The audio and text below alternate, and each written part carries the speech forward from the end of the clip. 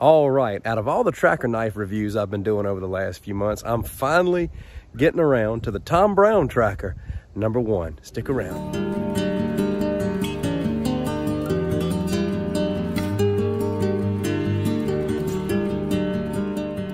Thank you so much for joining, my friend. I hope you find this video helpful and resourceful. Let's get rolling. People have been telling me all along, man, when are you going to get the Tom Brown tracker? You need to check that one out. And really, at this point, the only reason why I haven't picked it up is just really because of the price. It's a rather expensive knife, and I now especially understand why.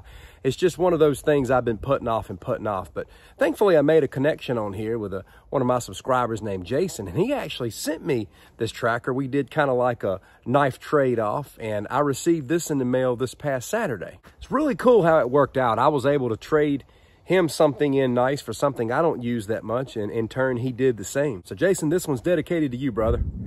I want to tell you from the start, this review is going to be a little bit deeper, and I have a couple of scores to settle before I get started. You know, from time to time in my reviews, every so often somebody will come along in the comments and say, you talk too much, just get right down to it.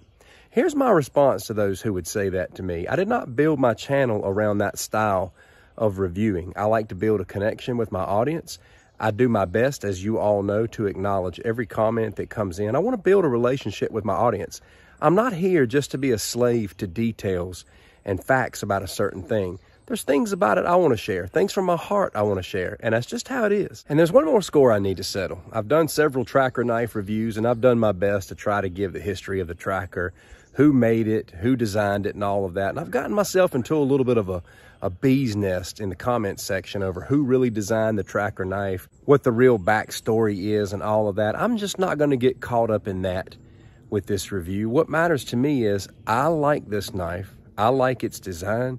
I own several trackers. I'm a huge fan of this knife.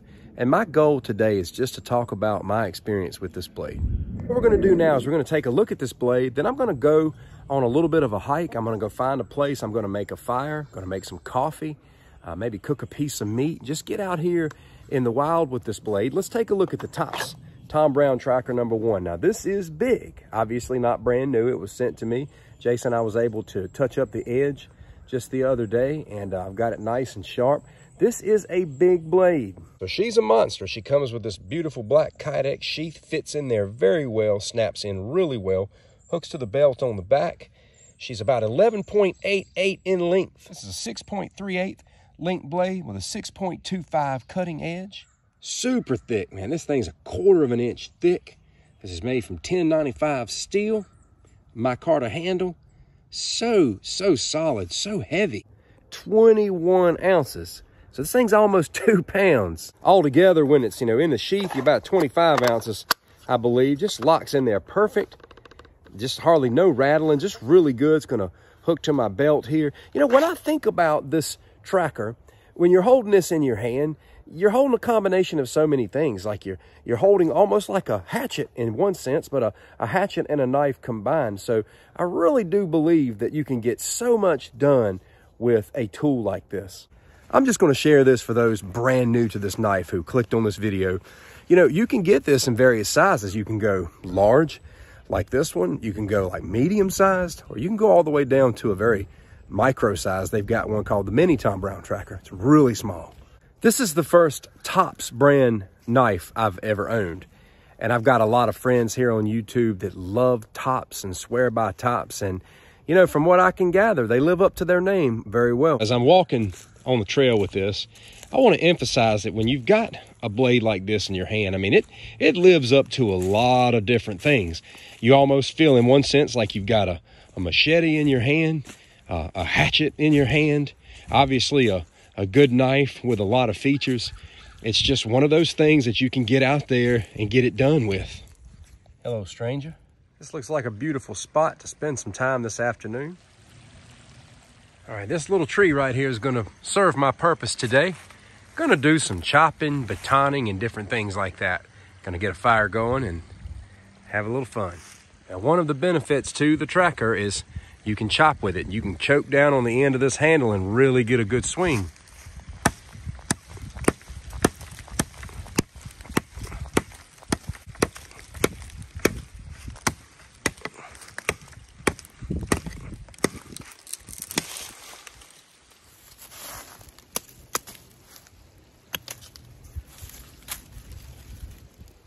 So on a lot of your budget trackers, the saw on the back is pretty useless. This is really designed for notching and whatnot. And a lot of the budget trackers don't really come with a decent saw on the back, but this one's gonna have the ability to cut in well. You can see how well this cuts in.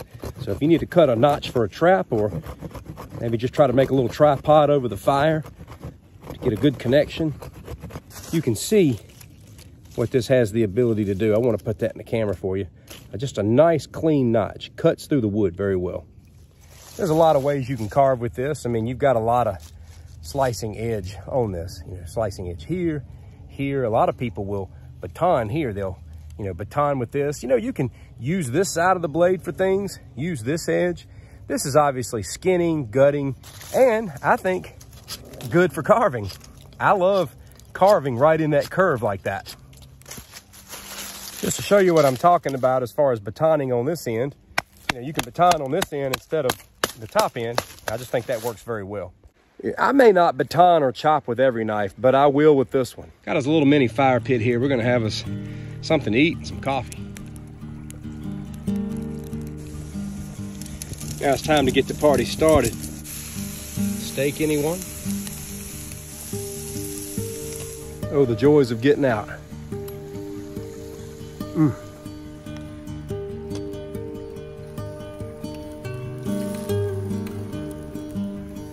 All right, I'm just letting this water boil right now and I'm enjoying this chuck steak. You know, if you get a good cut of chuck steak, man, it's like poor man's ribeye. I think it's delicious. All I did was put some of this Lawry seasoning on it. Mm, it's so good out here while I'm waiting on this water to boil so I can have me some coffee, makes me think of something. You know, I, I run into two different people. One's a coffee drinker, the other's not. It's just like that everywhere I go. I'm constantly running into people who like coffee and those who don't like it. It's like that with the tracker knife.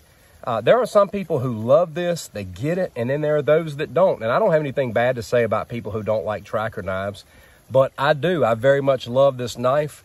I love it for everything. I love it for being out here, chopping, slicing, doing whatever I got to do.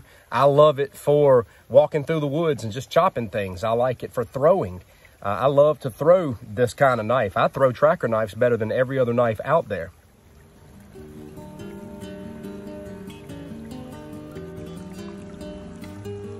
All right, we've got her to a boil. Gonna have us a little Cafe Bustelo here, and we're gonna throw a little half and half in this. Drinking out of my favorite coffee cup, Rocky Balboa. In life, it's not how hard you hit, it's how hard you can get hit and keep moving forward. That's how winning is done. Cheers, my friend. As a tip, I'll tell you what, this uh, Cafe Bustelo Instant is great for the pack. I think this has tasted very good out here. So let's talk about throwing the Tops Tom Brown tracker. You know, a lot of people want to throw their trackers because of the movie The Hunt. Benicio del Toro throws his like crazy in the movie and people in turn want to do the same. Heck, I'm one of them. It made me want to throw a tracker knife. But should you throw a $250 tracker? Well, you should take into consideration that knife throwing beats the living daylights out of a knife. I mean, it torture tests the knife. It's my opinion that you can get a budget tracker and throw that, and it has the same aesthetic.